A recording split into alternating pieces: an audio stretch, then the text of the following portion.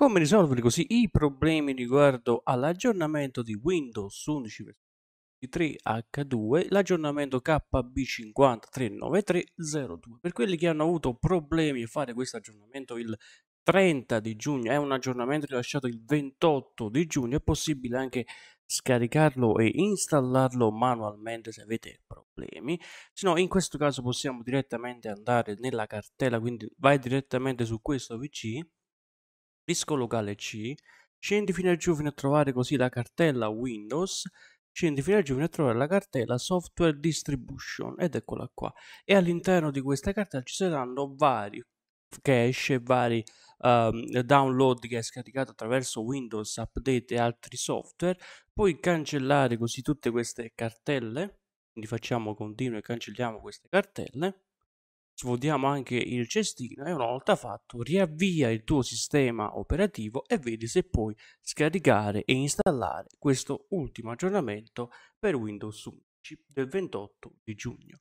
Se non dovesse funzionare possiamo direttamente andare sui servizi Possiamo andare direttamente sui servizi, quindi vai a scrivere qua sopra sulla barra della ricerca servizi oppure puoi aprire direttamente questa scheda facendo tasto uh, start, quindi il logo di Windows sulla tastiera, quindi schiaccia il tasto più la lettera R di Roma, si aprirà così la, la schedina esegui, qui vai a scrivere service con la S alla fine, punto msc, fai ok e si aprirà così la schedina servizi.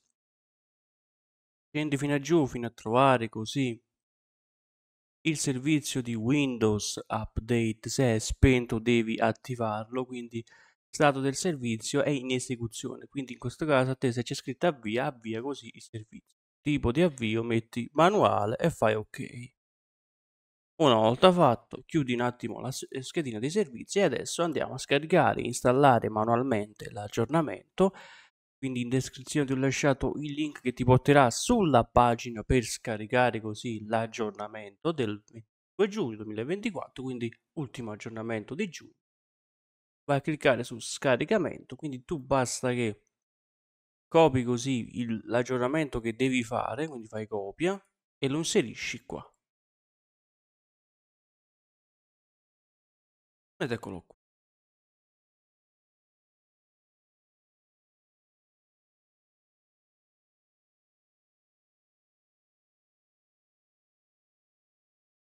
Su per 64 su per 64 è questo qua e vado a scaricare io ovviamente non posso installare l'aggiornamento perché a me è già installato quindi sicuramente mi dirà che questa versione è già installata nel tuo pc quindi l'aggiornamento deve finire sempre come .msu quindi deve finire come .msu se no non potrai installare nulla. Quindi cliccaci sopra e scarica e installa l'aggiornamento.